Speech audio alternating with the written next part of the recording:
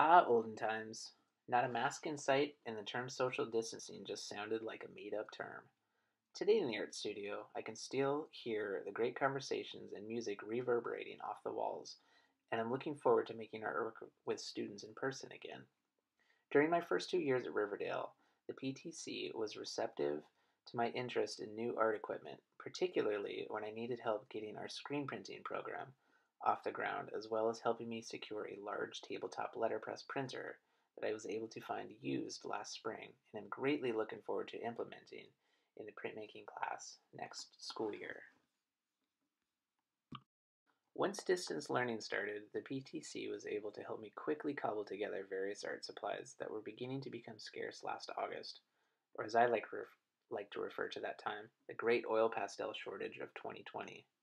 With their help, I was able to send an individual art packet home to each art student for each art class, six different art classes in total throughout the 2021 school year.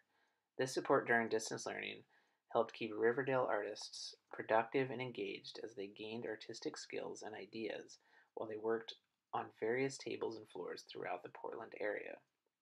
Making great art enabled students to converse with each other during digital art walks and art discussions in each class. Riverdale artists are still making quality work and still staying engaged thanks to the community support. Just check out their multiple accolades from the Scholastic Art Awards last winter. The art energy continues to hold after school as well with our weekly art club meetups where we are making various projects.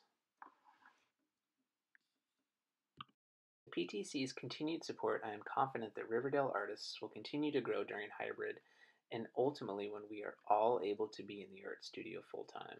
My sights are set to continue to develop the printmaking program with more fabric and vinyl printing techniques as well as poster design with our new to us letterpress printer. I want to keep the painting and drawing program strong, and I am also interested in working with PTC to chat about a digital arts program in the future. Currently, PTC's support with classic art materials is working well, but you don't need to listen to me please check out all this great work coming from students from all grades over the last year. Since last spring, students have worked with acrylic paint, watercolor, oil pastels, color pencils, Sakura illustration pens, classic drawing setups, digital photography, digital design, oil paint, collage, and charcoal on various papers and canvases. I'm extremely excited to see the students' energy build upon their already good work in the near future.